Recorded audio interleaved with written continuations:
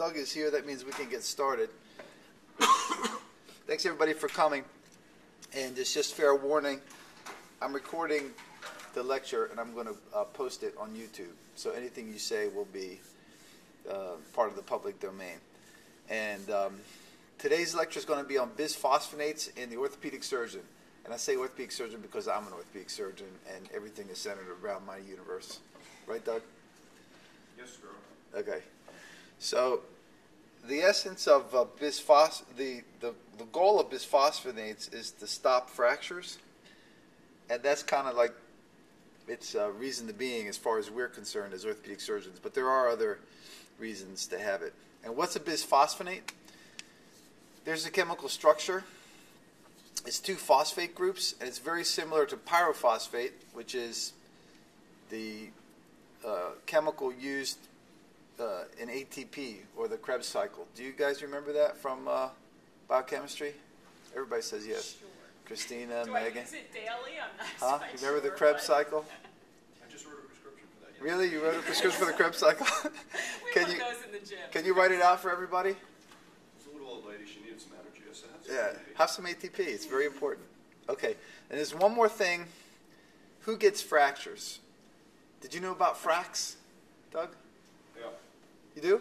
Yeah. I didn't know about it. It's the it's the World Health Organization um, a, bil- a way to assess uh, fracture uh, um risk factors. So if you type in, if you go to Google and type frax, F R A X, like fracture, uh, the World Health Organization will give you a fracture risk, risk assessment of how likely this person is to fracture. I think it's good for everybody. So if someone says, "Am I at risk?" You can just go to the website and just type in their date. You can just probably do this. Anybody can do this. Da- date of birth. Um, let's see. Previous fracture, fractured hip, parent had a fractured hip, smoker, glucocorticoids, rheumatoid arthritis, secondary osteoporosis, alcohol, three units a day, and then the femoral neck bone bone mineral density. So you'd have to get that too from a uh, DEXA scan. So I found this is very interesting. So how does uh, th- I won't go into this in great detail, but basically, osteoporosis has to do with calcium. You eat the calcium through your uh, gut, and then it gets absorbed, and then the parathyroid hormones regulate the level of calcium, and it goes into your bones. And vitamin D uh, helps with the absorption process from the gut uh, into the uh, cells. So it's very um, basic. When you get a DEXA scan, I'll show you a DEXA scan. They usually give you a number of standard deviations. And if you're greater than 2.5 standard deviations, that's by definition, and definitions are a human invention. You have osteoporosis versus osteopenia. So, when do you lose bone mass? Your bone mass gets keeps getting stronger up to the age of um, 25 to 30. So when you're like Nate's age, you're at your max. Like Nate's said, his max right now. And then uh, after about 10, 20 years, you start looking like Doug. And then uh, every year you get a little bit. Um, I'm just kidding, Doug. I'm just bothering you. Every year you get a little bit weaker. So I'm 20 years from my bone density max. So you get this. Uh, you get this scan when you send somebody for a DEXA scan, and it shows you where you are for your age matched uh, people. So that's like people like you. That gives you a Z score, and also gives you a T score, which is uh, the T score is your standard deviation from people at your max uh, bone health, and the T score is what you use clinically, not your Z score. So if you're 95 years old and you're average for a 95 year old woman, most 95 year old women are osteoporotic, so it doesn't really help you. So that people don't usually use that in studies and in treatments. It's the T score, which is your max health. And if you're 2.5 standard deviations, that's enough to start treatments, chemical treatments. And um, just one, just one more thing is um, everybody, every everybody should be on uh, that we see for fractures or bone health should be on calcium and vitamin D. So, um, does anybody have a rule of thumb of how much you should use or take? Just from my reading, it's about a, a gram and a half of calcium, and vitamin D is somewhere between 1,000 and 2,000 units. So everybody should be on calcium and vitamin D pretty much as they get older, 50, 60. So actually, all women, I think, all women should be on calcium and vitamin D. And then if um, so, that's just Maintenance is thousand milligrams for women. Postmenopausal is fifteen hundred, and a nursing woman is two thousand grams a day. nursing is 2,000. Okay. Yeah, when you're nursing, you're supposed to it up to two thousand. And then vitamin D is like a thousand a a week, I believe, is the recommendation. Okay, I'm not sure about that, but uh, some it's that's about right. So this this basic lecture is about bisphosphonates, and the, and the most common one used and the only generic is Fosamax. And there's many bisphosphonates out in the uh, in the market, but Fosamax um, is was the first to market in 1995, and it went generic in 2008. And it's uh, uh, alendronate. And there are many out there Fosamax, Boniva, Actonel. The ones I use are Fosamax, Boniva, Actonel, and Reclast. And Reclast is the injection type. Um, does anybody else use any other uh, bisphosphonates, Doug? Use Uh, any other ones? There's a, um, there's a SERM that I use, uh, the, um, SERM. selective estrogen receptor blocker. Um, Are you serious? You use something something different? yeah, yeah, there's one other one. Um, All right. And they all they all vary from the side chain, so they're very similar drugs, but they vary from the side chain slightly. And how do they work? Is they basically increase uh, the depth of the osteoclast. So you, two, you have two type of cells: the osteoclast, which is the one on the left there that eats bone away, and on the one on the right is the osteoblast that lays down bone. And you need both basically to have a normal bone. You need turnover. So bisphosphonates increase apoptosis of the osteoclast. In other words, apoptosis is cell death. So the bisphosphonates kill the osteoclasts. And therefore, those osteoclasts, since they're dead, they're not around to eat up the bone. And since they're, since they're, uh, you, don't, you don't have these things eating up your bone, your bone gets stronger. And the way that the bisphosphonates work is they get deposited inside of the bone. So they're, the, they're inside of your trabeculi. So they last a long time. Evista. Oh, Vista, yeah, that's right. So you can see here in this uh, cartoon, you see those little that little circle on the bottom, the bisphosphonate incorporated in hydroxyapatite. So the bisphosphonate goes into your bone and gets deposited there, and it's sitting around there, and it's I guess it poisons the osteoclast, and it dies. So that's how the bisphosphonate works. And then bisphosphonates um, are cleared uh, by the kidneys. So if you're going to treat this uh, people, you have to make sure they have normal uh, kidney function, especially with uh, Reclast, the injection uh, medications. So there are other indications other than osteoporosis. There's Paget's disease. There's bone metastases. If you have bone mets, bone mets are treated with bisphosphonates. Multiple myeloma, primary hyperparathyroidism, and of course, what we're going to talk about is osteoporosis. So this is this is what prompted me to, to go over this is this I was on call two weeks ago, and um, it was a 56 year old woman who uh, tripped and fell from a standing position from a rug. So by definition, when you fall from a standing position, you're not supposed to break something. So by definition, if you fall from a standing position and you break something, uh, that's a fragility fracture. So obviously, you know, we can argue this, you know, forever, but by definition, that's a fragility fracture if you fall from a stand. So that's what she did. So, Doug, would that make sense to you if someone fell from a standing position to have this injury? No. So what? So the other past medical history is um, she's on rheumatoid. She has rheumatoid arthritis. She's on steroids. She lives alone, divorced, and on that same side, she had a total knee replacement five years ago. So uh, what are your thoughts now, Doug? You say, let's say you're the orthopedic surgeon on call. What do you do? I'd want to get an x-ray of her whole femur Okay. to see what her knee looks like. Okay. So there's a front view. So just uh, just for everybody, like how would you describe it? It's a uh, mid shaft or subtropic. I think it's a mid shaft femur fracture. Okay, and it, it looks like it looks like it's right at the um, at the uh, isthmus, doesn't it, of the canal? It's like that's kind of where the canal gets tight, isn't it?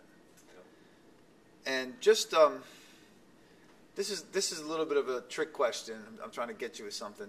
But does the cortex look normal on the femur? Does like you know how the cortex it's, it's hypertrophic. looks a little bit hypertrophic laterally, right? So- Yeah, so let me show everybody. Oh. Let me show what, what Doug is. See that right there? See how that's, um, that's a little thick? So the, the outside, the outside of the femur is thick there. It should, it should be like a uniform thickness, pretty much. Does, uh, anything you want to change with the side view, Doug? Add anything to you? uh, not really. Okay. Okay, so um, I'm sorry I don't have the whole femur pre-op, but how would you how would you treat this um, case? 56 years old, femur fracture. She came in on a Sunday. She's NPO, healthy, otherwise other rheumatoid arthritis. And you know how you call the OR right away to put her on the schedule so you get bumped by lap chole? Yeah. I called the OR Bring her up. and they said bring her up. Yeah. So what do you do? I scramble to make sure we have equipment. right, right. So, so you got to get her on the schedule, and then the then the radiologist says, I mean, the, the anesthesiologist says we have time. So you're like, so I was lucky in that case. That's what they said. They said, you know, you want to do it, do it now. I was like, all right. So I had to drop my kids off uh, at my parents' house, and I drove up. So, what would you do with this fracture, uh, Doug? Uh, I would consider intramedullary fixation. Okay, so you'll intramedullary fix it, and um, you do a primary, uh, like a um, standard primary uh, femoral nail, or a, uh secondary uh, nail, like a gamma nail, or a retrograde, like a uh, would you do it retrograde, antegrade? Well, um, I'd probably do an antegrade, I'm, I'm, you know, because she has a knee replacement on that side, so might have trouble. I probably can't get around it very easily, so I'd do a probably a standard IM nail or a, uh, or a Just- standard um, uh, second generation hip screw. Okay, and you put her on the fracture table. Do. And what do you do for traction? You just put her in a boot, or you put a pin? Okay. No, boot. boot. Okay, so I did the same thing. I put her on the fracture table, put the boot on, tracked her out, and if you see this, that looks um, that looks perfect, right? Perfect reduction on the AP film. And again, remember what Doug said? The um, look laterally uh, at the femur. See how it's really thick there? So that's the evidence that this was a stress fracture. So was this woman on uh, bisphosphonate? Yeah, she was on it for like 10 years. So the thing is, when you fix them, you have to take them off the bisphosphonates for about two months or so. Yeah, until the fracture's healed. Here's a side view. Are you happy with that, or? I think that looks fine. I think you'll probably be able to nail it. Yeah, so that, that's probably close enough. So here's the um, the nail. I just used the primary um, first generation nail, only because that's all we had in the uh, hospital, so I can do it right away. And um, Is that- is that a Synthes? that is that's a Synthes nail. Yeah, I, th- I think so. And we have those in stock? That was the only one that was in the hospital.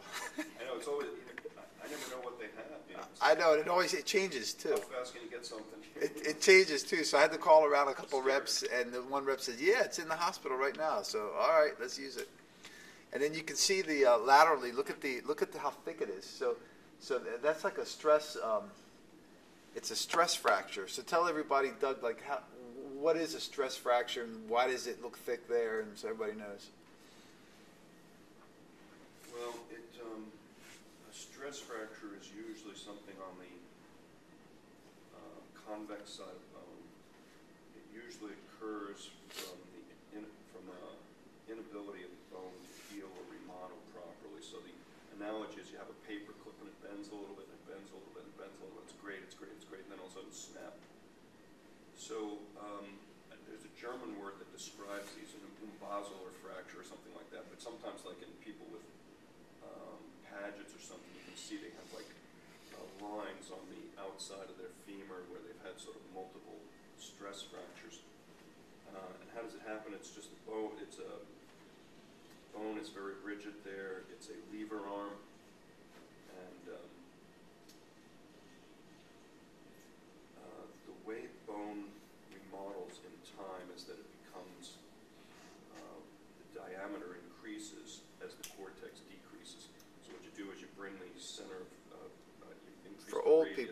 for, as elderly people, they get what we call stovepipe femur. So that's kind of a different process. But Right.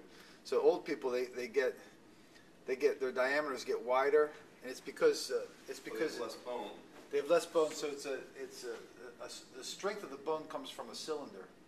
I don't know if you guys can understand this, but if uh, if you say uh, if you say, can this piece of paper hold a ten pound weight? Like, can you hold up ten pound? The, the, you say impossible, right? But if you if you fold a piece of paper into a cylinder, it can. You can put a ten pound weight on this. That's the strongest form architecturally. So what what the body does, is it makes the cylinder bigger, so that it's stronger. Does that make sense? So the so the outer part doesn't have to be as strong. So that's that's why the body has a naturally knows how to make things stronger. So naturally, the cylinder is the biggest. So you reamed this? Yeah, I reamed it, yeah, to get a big nail in so I can let her walk. Was it tough to ream? It was a little bit tough, yeah. And the other, so what happens in bisphosphonates is the osteoclasts, um, the process is, is destroyed with the bisphosphonate, the stress fracture. So people develop stress fractures a- after a long period of time because the normal remodeling process of the bone is damaged from bisphosphonates. So people present with these fractures, femur fractures, which is like a big deal. Here's a side view, and this just shows you um, how we do it. We put a we put a, uh, a wired past the fracture, which sometimes can be difficult. And you can see a side view. That's my locking screw, and you can see she has a total knee in. So it didn't make the surgery any more difficult, but uh, like Doug says, you can't go through the knee.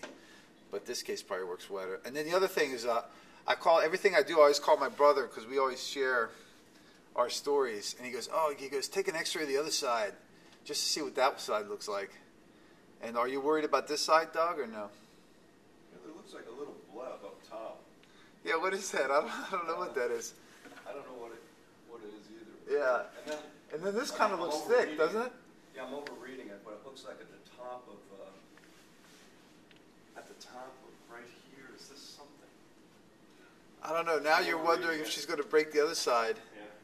But um, We'll bring her back, you know, Yeah, and route yeah, and I told her, and she said her thigh hurt for months. The fra- the fractured side. She had a stress fracture. And here's a here she came back two weeks post-op, and you can see she's already uh, laying down callus um, from the fractures uh, side. And you can see the callus there, 12, 12 days post-op. You can see how thick she is there from her stress fracture. So so um, what what is this process? People uh, it seems counterintuitive, but people on bisphosphonate get these atypical, what they call atypical femur fractures, but they're very rare.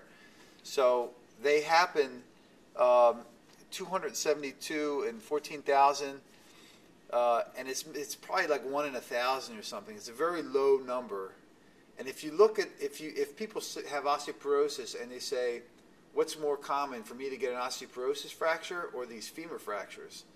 The, the answer is 40 to 1. So there's a 40 times chance that you'll get an osteoporosis fracture versus a 1 chance for these unusual femoral shaft fractures. So they're very rare.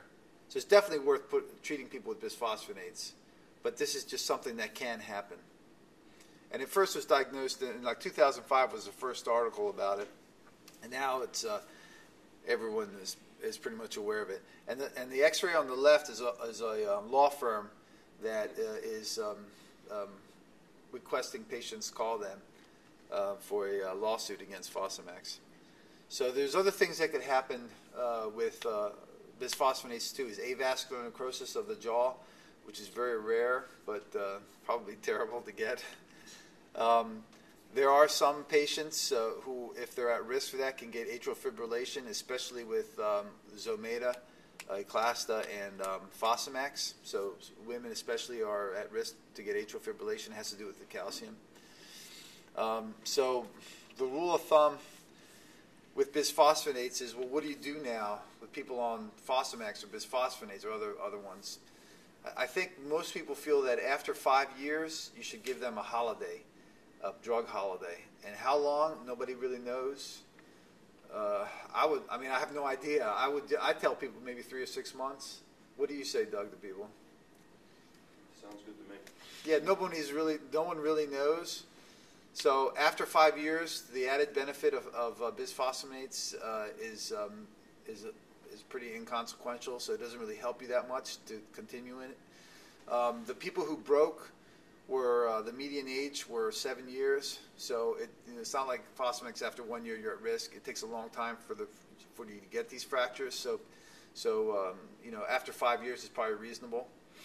And then the other things uh, you can just tell people if you ever get thigh pain, it may be a stress fracture. Tell me right away. I'll take you off the bisphosphonates, and you have to be careful. And the other thing is people can also get esophageal cancer from bisphosphonates. And the people at risk for that are people with known Barrett's disease of the esophagus or people who have some other type of risk factor for esophageal cancer or have esophageal cancer. So, any questions up until this point? If those that fractured their femur, was there any um, measure of their level of physical activity? She she wasn't she was not an athlete. She just normal activities of daily living, Okay. low demand individual. Right. But she we always recommend weight-bearing exercises for most people with osteoporosis. she doesn't do any exercise, but she does work outside of her house. Okay. Okay, so one more thing I want to go over is um, bisphosphonates and AVN. So uh, this is an MRI of AVN of the femur. And there is evidence that bisphosphonates helps with AVN. So just in general, AVN is avascular necrosis, especially of the femoral head. And um, there are many things that can cause it. I guess steroids is the most common. After two or three years of AVN, the femoral head goes on to collapse, and then you need a total hip. It's very painful. So, what can you do about it? Really, not much other than a, uh, a coring of the femoral head. You just drill a hole into the femoral head and hope that the ingrowth of bone and vasculature helps with the AVN process to deter it. But the latest thing now is to use bisphosphonates for AVN.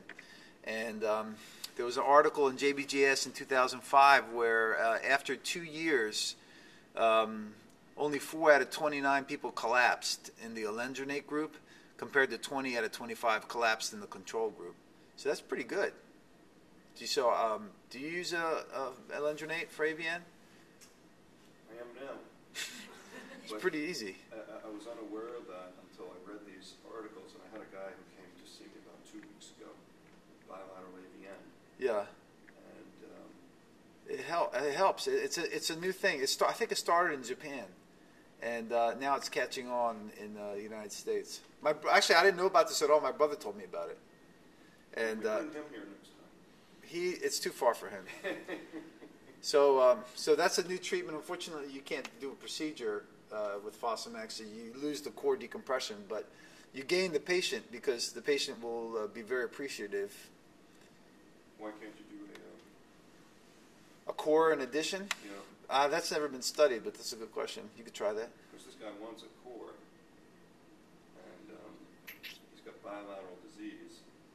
I, yeah, I would. I guess you can do a core, and then you could wait three months and then start uh, bisphosphonates if you want to give them both, best of both worlds.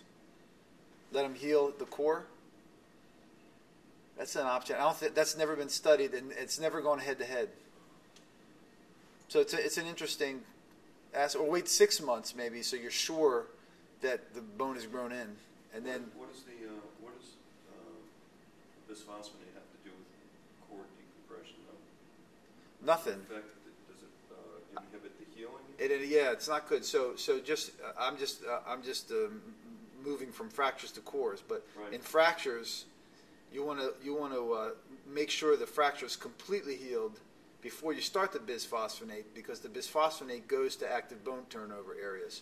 So it's not as important as in Fosamax because Fosamax you take it every week, but like if you do reclast, if you give the reclast uh, after a fracture, all of the medicine is going to go where the fracture is, which you don't want that. You want it everywhere.